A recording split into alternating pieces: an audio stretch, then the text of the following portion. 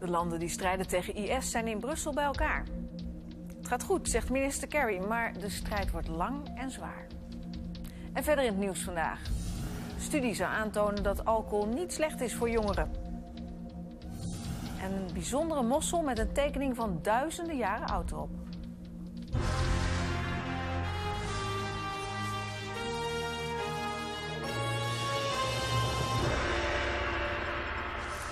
Goedenavond. Het was een bijzondere bijeenkomst vanmiddag in Brussel. Alle landen die meevechten tegen islamitische staat bij elkaar. In het hoofdkwartier van de NAVO bovendien, maar dat mocht niemand hardop zeggen. Alle NAVO-symbolen waren zorgvuldig weggewerkt. Want hier vecht niet de NAVO tegen IS, maar een brede coalitie van westerse en Arabische landen. En ze wilden vooral graag uitdragen dat het goed gaat. This impressive turnout reflects a shared determination to degrade and defeat ISIL. It is much harder now than when we started for Daesh to assemble forces in strength, to travel in convoys, and to launch concerted attacks. No large Daesh unit can move forward aggressively without worrying about what will come down on it from the skies. Op de goede weg dus wat Kerry betreft. Wat is er tot nu toe gebeurd? IS heeft de afgelopen paar jaar langzaam maar zeker steeds meer terrein veroverd. Eerst in Irak, daarna ook in Syrië. Deze zomer riepen ze een eigen staat uit, het kalifaat. Tot schrik van de omliggende Arabische landen en de westerse wereld. Meer dan 60 landen verenigden zich om de opmars van IS te stuiten. Ook Nederland is daarbij. Begin augustus voerden Amerikaanse bommenwerpers de eerste aanvallen uit. En inmiddels staat de teller op ruim 1100 luchtaanvallen. Bijna 500 in Syrië, ruim 600 in Irak. De Verenigde Staten hebben verreweg de meeste missies uitgevoerd. 930 in totaal. De totale kosten voor de Amerikanen 8 miljoen dollar per dag. Dat betekent dat ze er inmiddels bijna 800 miljoen dollar aan kwijt zijn. In Brussel, bij die top van 60 landen, is uh, Arjan Noorlander. Arjan, dat zijn de cijfers, we hoorden Kerry. Maar wat is nou echt het effect van die luchtaanvallen? Nou, de 60 landen hebben zich uh, vandaag vooral laten overtuigen door een presentatie van de Amerikaanse generaal Allen. En die heeft uitgelegd dat de strijd succesvol is. Vooral uh, de strijd tegen de troepen van die S die gezamenlijk aanvallen willen plegen op, uh, op nieuwe steden in het gebied waar ze actief zijn in Syrië en Irak. En de Amerikaanse generaal beweert dat IS nu zo verzwakt is dat zo'n georganiseerde aanval van IS niet langer mogelijk is. En, zeggen de Amerikanen, het is ook gelukt om de financiën van IS af te snijden. Uh, een aantal maanden geleden nog uh, verkochten de IS-strijders ongeveer 240.000 vaten olie per dag. Nou, dat uh, doen ze inmiddels niet meer. Dat is inmiddels behoorlijk afgenomen naar 20.000 vaten per dag. En dat betekent dat de financiën van IS behoorlijk zijn afgesneden. En is er een kans dat ze de inzet nog gaan uitbreiden? Nou ja, in ieder geval niet uitbreiden op de grond. Dat is uh, waar de roep het grootste om is, vooral uh, uit landen om de regio. Om bijvoorbeeld Amerikaanse en westerse militairen ook naar die regio te sturen. Maar dat gaat niet lukken. Het blijft bij bombarderen. Want zo vinden de 60 uh, bondgenoten en vooral de westerse bondgenoten. Het is niet verstandig om daar weer in een echte oorlog terecht te komen. En dat wordt ook ondersteund door de Nederlandse minister die daar vandaag bij was, minister Koenders. Grondtroepen zijn essentieel, maar vooral van het Iraakse leger en ook van de Peshmerga's die binnen Irak opereren. Het gaat nog niet zozeer over alleen het luchtwapen, maar het gaat er wel om uh, dat ik uh, eigenlijk uh, bijna niemand gehoord heb die zou willen spreken over westerse troepen in die regio, omdat dat contraproductief zou zijn. Geen westerse troepen, geen manschappen dus op de grond. Krijg je het dan wel voor elkaar? Nou ja, dat is de vraag. Een oorlog win je normaal gesproken alleen maar door troepen op de grond. En de inzet is, zoals minister Koenders ook al zei, om vooral die Iraakse en Koerdische troepen op de grond te steunen. Dat die uh, kunnen winnen van IS met hulp van luchtaanvallen. Maar westerse troepen zullen er niet komen. En daarom werd hier positief gereageerd op wat er tot nu toe is bereikt. Maar zo realiseren ook die 60 landen zich allemaal. Het zal nog jaren duren voordat IS echt van de aardbodem is verdwenen. En dat is wel wat de leider van die coalitie, de Amerikanen, graag wil. IS moet volledig weg. Want zo zegt uh, ook Kerry vandaag, het druist volledig in tegen de Amerikaanse en westerse waarden. En we gaan net zo lang door tot het gelukt is. Arjan, dankjewel. Dat was gek wakker worden vanmorgen. Ouders dachten, nee toch? En hun kinderen, zie je wel. Alcohol zou helemaal niet zo slecht zijn voor jongeren als we denken. De uitkomst van een onderzoek onder ruim 2000 jongeren. Maar is het ook echt zo? Is dit wel zo slecht voor jongeren? Veel onderzoek is gedaan naar de effecten bij jongeren van extreem veel drank in één keer. Als ze, zoals dat heet, gestrekt in het ziekenhuis belanden. Het zogenaamde coma-zuipen. Die extreme gevallen zitten niet in het onderzoek van Sarai Boulema. Ze volgde meer dan 2000 jongeren van hun 11e tot hun 19e. Zware drinkers, gemiddelde en niet-drinkers. Ze testen ze op onder meer geheugen, concentratievermogen en het oplossen van problemen. We vinden geen verschillen uh, op, een, op taken die vaardigheden meten als concentratie en aandacht uh, en probleemoplossend vermogen tussen jongeren die veel drinken en jongeren die dat niet doen. Hoe kan dat? Ja, dat, is dat, dat weten wij ook niet precies hoe dat kan. Ik heb daar een aantal ideeën over. Um, wat bijvoorbeeld zou kunnen is dat er wel iets in het brein gebeurt, maar dat we dat niet oppikken um, met taken. Dat zou kunnen zijn. Het zou kunnen zijn dat, um, en dat jongeren dus eigenlijk in staat zijn om daarvoor te compenseren. Dat is een van de verklaringen die wij hebben. Op de uitkomsten wordt wisselend gereageerd. Het Instituut voor Alcoholbeleid STAP vindt dat voorzichtigheid is geboden. Voordat je het weet denken jongeren laten we er maar weer eentje nemen.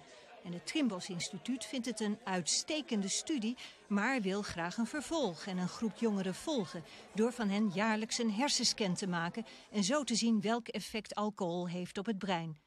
Deskundigen van het project Voorkom alcoholschade bij jongeren vrezen dat het gevoel ontstaat dat het allemaal wel meevalt en blijven bij hun boodschap. Dat ik nog meer gemotiveerd ben om de mensen uit te leggen nog voor deze dag, is dat ja, kinderen aparte wezens zijn. Dat ze de alcohol veel minder voelen aankomen en dat ze veel meer dan volwassenen te veel drinken. En dat is dus dat ze op een gegeven moment oud raken en dat is gewoon schadelijk. Dat is schadelijk, was schadelijk en dat blijft schadelijk. Ook staatssecretaris Van Rijn blijft erbij dat alcohol slecht is voor kinderen en blijft zich inzetten om drankgebruik onder jongeren terug te dringen. Er is in ieder geval goed nieuws over de jeugdzorg, althans volgens het kabinet. Vanaf 1 januari moet de gemeente de jeugdzorg regelen. En dat betekent dat je voortaan met je kind naar de gemeente moet voor hulp en als er problemen zijn met de opvoeding of hun gedrag. Het gaat om zo'n 280.000 kinderen. En het goede nieuws is nu dat alle gemeenten klaar zijn om die zorg over te nemen, zegt staatssecretaris Van Rijn. Ik ben blij om te kunnen constateren dat uh, overal in 2015 de jeugdzorg is geborgd. Niet alleen maar in de wet, maar ook in de praktijk. Vandaag zien we een staatssecretaris die opgelucht is. Want deze zomer nog geloofde bijna niemand dat het goed zou komen. Het is nu 1 minuut voor 12 en misschien is het al 1 minuut over 12. De bewindslieden hebben dus het vertrouwen verloren in tientallen gemeenten. Maar ook de instellingen zitten met de handen in het haar. Driekwart van de, van de, van de zorgaanbieders die wij dat hebben gevraagd uh, deze maand... die geven aan dat ze nog geen afspraken met gemeenten hebben gemaakt. De jeugdzorg, de ouders, de staatssecretaris... ze waren allemaal bang dat de gemeenten te laat klaar zouden zijn. Er zijn in de afgelopen periode letterlijk duizenden contacten afgesloten... die ervoor zorgen dat als je in zorg bent dat die gewoon kan doorlopen... En als je zorg nodig hebt, dat je gewoon terecht kan. Maar geven die contracten een garantie aan de kinderen? Niet iedereen gelooft daarin. De staatssecretaris gelooft denk ik in sprookjes, uh, de SP niet. Uh, wij zien elke dag weer opnieuw in het veld dat er problemen zijn, dat kwetsbare kinderen op straat dreigen te belanden. Dat jeugdzorgaanbieders zeggen wij gaan misschien wel failliet door deze hele overheveling uh, van taken. Dat kan niet de bedoeling zijn van de nieuwe jeugdwet. En ik zou willen dat de staatssecretaris zijn ogen daar ook eens voor opent. Volgens de PvdA maakt de SP zich hier schuldig aan bangmakerij. In de kranten en ook op televisie, maar ook door partijen als de SP is angst gezaaid afgelopen periode dat het allemaal niet goed zou komen. Terwijl alle wethouders willen graag de zorg voor kwetsbare kinderen goed organiseren. Alle instellingen willen graag de juiste zorg bieden. Nou, nu is daar een grote stap in gezet, dat is goed nieuws. En nu is het zaak om uh, weg te gaan van die angstzaaierij en kinderen individueel te informeren over waar ze aan toe zijn.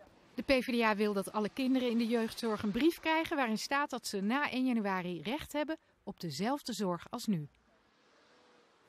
Er is sinds twee weken een telefonische hulpdienst van het ministerie bedoeld voor mensen die vragen hebben over de zorg. Maar daarover zijn klachten. Vanavond in Nieuwsuur het verhaal van patiënten die van het kastje naar de muur worden gestuurd. Oftewel, de gemeente stuurt ze naar Den Haag en Den Haag stuurt ze dan weer terug naar de gemeente. De chemische industrie heeft zijn oog laten vallen op de suikerbiet. Suikerbieten zijn een uitstekende grondstof voor afbreekbaar plastic. Er wordt nog maar weinig bioplastic gemaakt, maar economen verwachten miljarden investeringen. En dan zou Nederland zomaar het centrum kunnen zijn van de Europese bioplastic-industrie. De bietencampagne is nog volop aan de gang en dit jaar blijkt een topjaar. Elke vierkante meter levert wel anderhalve kilo suiker op. Kijk, dat zijn grote bieten, hè. In een ander jaar zijn ze dik, hebben meer van zo'n bietjes. Maar financieel schiet de boer niet veel op met die mooie oogst. Hij heeft namelijk te veel bieten geproduceerd, meer dan zijn toegestane kwotum. Over twee jaar verdwijnt het Europese kwotum op bieten en dat opent nieuwe perspectieven. Dan gaat u meer bieten produceren? Dan gaan we meer bieten produceren. Wij hebben ongeveer 40 hectare land, dus ik denk dat ik uit zal gaan breiden misschien naar de 8, 9 hectare. En ook de chemische industrie ziet nieuwe mogelijkheden. Het bakje rechts is van gewoon plastic op basis van olie. Maar de toekomst is voor deze, biologisch afbreekbare bakjes. Deze bakken zijn gemaakt van mais. Uh, maar die zouden ook van andere grondstoffen gemaakt kunnen worden. Zolang ze maar melkzuur. Dus bijvoorbeeld uh, die suikerbiet, dat zou ook zeker kunnen in de toekomst. Nu wordt de grondstof geïmporteerd uit Amerika, maar dat gaat veranderen. Volgens onderzoek van de Rabobank investeert de industrie binnenkort ten minste 1 miljard euro in de bouw van nieuwe fabrieken in Groningen en Noord-Brabant. Om de plastic uit suikerbieten te maken. Ik denk dat we dat ook zeker moeten. We moeten ons onderscheiden, ook binnen Europa. Dus dat, ik, ik geloof erin en daar moeten we met z'n allen echt uh, hard voor knokken. En dat betekent dat er veel meer bieten geproduceerd moeten worden. Ik denk dat er voor de bietenteelt een goede toekomst in Nederland gelegd is. Ja, dat denk ik zeker. De teler heeft hoge verwachtingen van de nieuwe chemische mogelijkheden met zijn bieten. En hij ziet nog veel meer kansen voor de suikerbiet. Als China en, en allemaal, uh, al die consumenten nog weer mee gaan eten, dus hebben ze nog miljarden monden. Hè? Die moeten nog leren snoepen daar. Ja, als die aan snoepen gaan, kunnen wij denk ik niet geteeld krijgen. Ja, zo gek is die gedachte niet, want de voorspellingen zijn dat de wereld in 2020 ruim 200 miljoen ton suiker verbruikt. Dat is 20% meer dan nu. Het was een ongeluk dat eigenlijk nooit gebeurt, maar het gebeurde toch. De Australische cricketer Philip Hughes kreeg een bal tegen zijn hoofd en overleefde dat niet. Cricket is een grote sport in Australië. Het land nam vandaag afscheid van zijn held. De begrafenis van Hughes, die zondag 26 jaar zou zijn geworden, is in zijn woonplaats Maxville. De uitvaart is rechtstreeks op de Australische televisie te zien. Overal in het land staan grote schermen waarop de beelden worden uitgezonden. Zijn teamgenoot en aanvoerder van het nationale cricketteam is een van de sprekers. We must dig in and get through to tea. And we must play on. So rest in peace, my little brother. I'll see you out in the middle.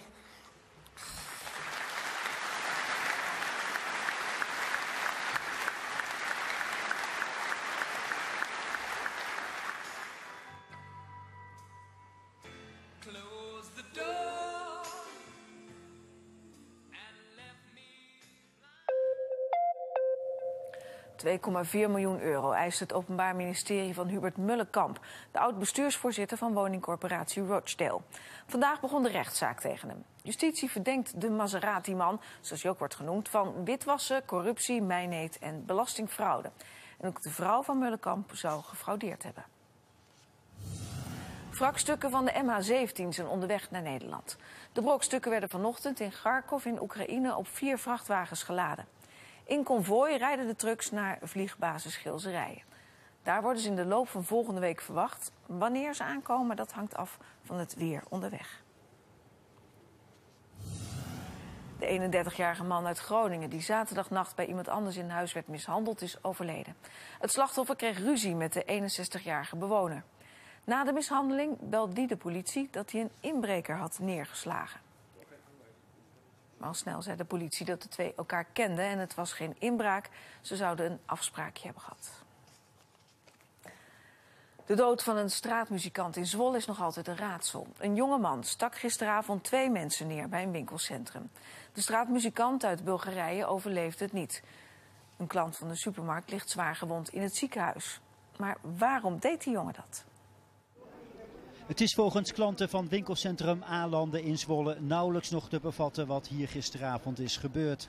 Een 17-jarige jongen steekt eerst buiten in op een straatmuzikant en stort zich daarna binnen op een klant in een supermarkt. De straatmuzikant overlijdt in het ziekenhuis. Ik vind het gewoon heel erg dat zo'n onschuldige man uh, ja, zoiets overkomt. Dat vind ik gewoon onbegrijpelijk eigenlijk. Ik vind het afschuwelijk. Ja, niet geloven. Zo'n man doet niemand kwaad volgens mij. Die zat hier altijd voor dat winkelcentrum volgens mij te spelen. De verdachte is gisteravond overmeesterd door omstanders. Het gaat om een jongen die sinds een maand in een project zat voor begeleid wonen in Zwolle. De instelling meldt dat er geen signalen waren die erop wezen dat de jongen een gevaar zou kunnen zijn voor anderen. We hebben een aantal getuigen gesproken, maar uh, de verdachte is ook een eerste verklaring van afgenomen waar het ons nog om gaat. Direct na het incident zijn er mensen volledig geschrokken weggegaan. Uh, die mensen zouden wij heel graag nog willen spreken. Het personeel van de supermarkt, onder hen een aantal jonge vakkenvullers, is enorm geschrokken. Nou, de mensen die het meegemaakt hebben, daar hebben we uiteraard natuurlijk begeleiding voor. Is gisteravond meteen ook allemaal ingezet. Maar uh, ja, je doet wat je kan doen als bedrijf. Maar uh, ja, het is, uh, veel mensen die hier zijn natuurlijk enorm geschokt. Wat kunt u doen voor het personeel? U, u praat met ze? Praten er zijn, troosten. En ja, het is een moeilijke situatie nogmaals. De 57-jarige klant van de supermarkt ligt nog in het ziekenhuis. Zijn toestand is stabiel. Duitsland is al dagen ondersteboven van de dood van Tuce Albayrak, een studente van Turkse afkomst. Ze kwam tussen beiden bij een ruzie, maar kreeg daarna zo'n klap dat ze overleed. Zinloos geweld met nog een extra kant. Zij was het voorbeeld van succesvolle integratie. De dader, een jongen van Servische afkomst, was dat juist niet. Hij wilde niet deugen, zeggen ze in Duitsland. En daarmee is Toetje Albayrak ineens het gezicht van de discussie over integratie. Het was haar moed die haar fataal werd. En waardoor ze na haar dood een heldin werd. Honderden mensen waren naar de moskee gekomen om afscheid te nemen van de Turks-Duitse Toetje. Allahu Akbar. Assalamu alaikum wa rahmatullah. Ich denke, das bewegt jeden Menschen. Die hat Zivilcourage gezeigt und ich denke, wir sind ihr das auch schuldig, da zu sein. Für die Eltern auch noch dazu. De 22-jarige Toetje zit in McDonald's als twee meisjes bij de wc worden belaagd door een groep mannen. Toetje stapt erop af en de mannen worden de zaak uitgezet. Maar een uur later is ze zelf het slachtoffer. Buiten op de parkeerplaats slaat een jongen haar tegen de grond. Ze raakt in coma. Afgelopen vrijdag, op haar verjaardag, overlijdt ze. Haar dood leidt tot grote verontwaardiging. Op verschillende plekken in het land worden herdenkingen gehouden. En de Duitsers vragen zich af hoe het kan dat de dader zo slecht geïntegreerd was en Toetje juist voor het tegendeel stond. Burada tabii Tuğçe'yi e, son yolculuğuna uğurlayanlar arasında sadece Türkler değil, e, Almanlar, diğer yabancılar var. Tuğçe bu ülkenin bir parçasıydı ve bu ülkenin parçası olarak da burada doğduğu için de e, birlikte onu uğurluyoruz. Bu anlamda bu, bu dayanışma için çok önemli. Vandaag bewezen ze haar de laatste eer, voordat ze in haar geboorteplaats werd begraven. De Duitse bondspresident Joachim Gauck onderzoekt of Toetje kan worden voorgedragen voor de hoogste onderscheiding in Duitsland. Dat is het Kruis van Verdiensten. De goederenwagons waarmee in de Tweede Wereldoorlog Joden en Roma werden weggevoerd uit Nederland is het beeld van de deportaties. Het herinneringscentrum Kamp Westerbork heeft vijf van zulke wagons gevonden in Duitsland. De eerste kwam vanochtend aan op een terrein van Defensie om te restaureren. Zo zagen ze eruit, de goederenwagons waarmee de deportaties werden uitgevoerd. Of deze daar ook voor gebruikt is, dat is niet meer terug te vinden. Het is een wagon van voor de oorlog, dus uh, dat is één. En het tweede is, we weten dat dit type ook daadwerkelijk gebruikt is voor de deportaties vanuit kamp Westerbork. Of deze wagon, eh, dat kun je niet meer nagaan aan die wagons wat de geschiedenis precies is geweest. Dus meer kun je er niet over zeggen. Het kan zijn, maar het hoeft ook niet zo te zijn. Meer dan 100.000 Nederlandse Joden en Roma zijn tijdens de Tweede Wereldoorlog naar de vernietigingskampen in Duitsland en Polen afgevoerd. Vertrokken vanuit kamp Westerbork. Bijna niemand is teruggekomen. Als je het over de jodenvervolging hebt, dan is eigenlijk één beeld, een internationaal beeld. Iedereen, een wagon, dat staat eigenlijk gelijk aan het deporteren en het vermoorden van de mensen. Dus eh, als je het echt zoekt naar om in beelden te werken, dan heb je eigenlijk toch ook een wagon nodig. Hij is zo oud. Als hij zo wordt opgetild, dan eh, denk je van, hij, hij knakt toch niet in tweeën. Maar hij is er gisteren ook opgezet, dus we weten dat het goed is. Twee wagons stonden bij een Duitse hobbyclub van treinliefhebbers. Daar is de eerste gisteren opgehaald. Gut, dass die Wagen erhalten werden, weil wir hatten hier dann doch keine richtige Verwendung mehr. Und äh, dass die Wagen erhalten werden und aufgearbeitet werden. Und ja, was Besseres kann den Wagen nicht passieren. Het is niet allemaal uh, even florisant meer zoals het eruit ziet. Nou, dat houtwerk is natuurlijk echt heel slecht en dat moet er helemaal uit. De wagons gaan als ze gerestaureerd zijn in april naar het herinneringscentrum. Het is dan 70 jaar geleden dat kamp Westerbork werd bevrijd. Deze mosselschelp van Museum Naturalis zorgt voor grote opschudding binnen de wetenschap. Een onderzoeker heeft namelijk krasjes op de bovenkant van de schelp ontdekt. En die krasjes die blijken heuse gravures te zijn. De tekening is zo bijzonder dat het wetenschappelijk tijdschrift Nature erover publiceert. De tot nu toe oudste door mensen gemaakte graveringen zijn ruim 100.000 jaar oud. Maar uit onderzoek blijkt dat deze graveringen op de mosselschelp zo'n 400.000 jaar oud zijn. En in die periode bestond de moderne mens nog niet. Het is in ieder geval een hele bijzondere tekening. Het is veel ouder uh, dan we verwacht hadden. En het wordt gemaakt door Homo erectus, een soort die tot nu toe uh, helemaal niet uh, bekend stond als, als maker van dit soort graveringen. Dus het heeft ons bijzonder verrast. De schelp ligt al ruim 100 jaar in het Museum Naturalis. Een onderzoeker fotografeerde zeven jaar geleden de schelp en ontdekte het zigzagpatroon. We moesten echt alle, uh, alles heel erg in detail bekijken. Vaststellen dat het oud is. Dus dat het uh, ouder is dan de verwering van de schelp. Door de vondst van deze gravuren krijgen wetenschappers nieuwe inzichten over onze voorvaderen. En door de vondst blijkt dat we ze een beetje hebben onderschat. Het toont aan dat Homo erectus gebruik maakte op een hele uh, veelvoudige uh, manier van schelpen. Namelijk als voedsel, om te beginnen.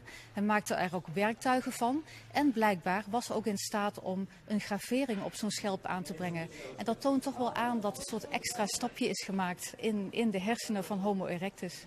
Morgen zijn de schelpen te zien voor het publiek. Gaan we naar het weer, Peter. Goed nieuws zit er niet in, hè? Nee, want het blijft voorlopig een beetje grijs. Het was vandaag ook, uh, er viel zelfs een beetje sneeuw en het was ook echt koud. Op sommige plaatsen in Nederland was het zelfs uh, de koudste dag in bijna anderhalf jaar. Nou, dat zegt natuurlijk ook wat over de afgelopen winter. Die was natuurlijk uitgesproken zacht. Maar toch merk ik aan mensen om me heen dat iedereen toch weer een klein beetje aan deze kou moet wennen. Nou, compleet met sneeuwvlokken zelfs, die bleven op de grond bijna niet liggen. En dat komt allemaal, dat grijze weer, omdat we in een zogenaamd zadelgebied zitten. Met uh, hoge druk ten westen en oosten van ons. En lage druk ten noorden en ten zuiden van ons. En dat betekent dat het bij ons grijs is. Echt een beetje monotoon weer. En dat grijze weer dat hebben we eigenlijk in heel Midden-Europa. Ook Duitsland heeft te maken met dat grijze weer. En ook in Frankrijk, daar is de zon vandaag bijna niet te zien geweest. Nou, morgen dan verandert er maar weinig. De computer berekent de opklaringen, maar die kunt u rustig vergeten, want die komen er niet. Het blijft morgen ook grijs en het is duidelijk dat we nog steeds in dat zadelgebied zitten morgen. Bewolking betekent dat dus ook voor komende nacht. Het koelt niet zo heel erg veel meer af ten opzichte van nu. Het gaat dus licht vriezen, 2 of 3 graden in het oosten. Rond het vriespunt, denk ik, in het westen van het land. En er staat een zwakke tot matige oostenwind... die het voor het gevoel allemaal nog net eventjes iets kouder maakt. Nou, morgen dan is het ook een grijze dag. Ik denk weinig opklaringen. En de temperatuur die stijgt naar rond het vriespunt, heel weinig maar... De oostenwind die gaat wel wat liggen en dat betekent dat het langzamerhand wel iets minder koud gaan aanvoelen. Maar om nou te zeggen dat het warm wordt, nee, bepaald niet. Het wordt wel wat warmer, want de wind die gaat vrijdag naar het zuiden draaien. En dan stroomt er wat zachtere lucht ons land binnen. En dat gaan we dit weekend merken. Met maximum temperaturen van zo'n 6 of 7 graden. En ook krijgen we de zon dan eindelijk weer wat vaker te zien. Het belangrijkste nieuws in dit NOS Journaal. Minister Kerry heeft. Uh, minister Kerry van Buitenlandse Zaken van Amerika zegt dat het goed gaat met de strijd tegen IS. Meer nieuws in het uh, nieuwsuur om, twee, om tien uur. Heel fijne avond verder.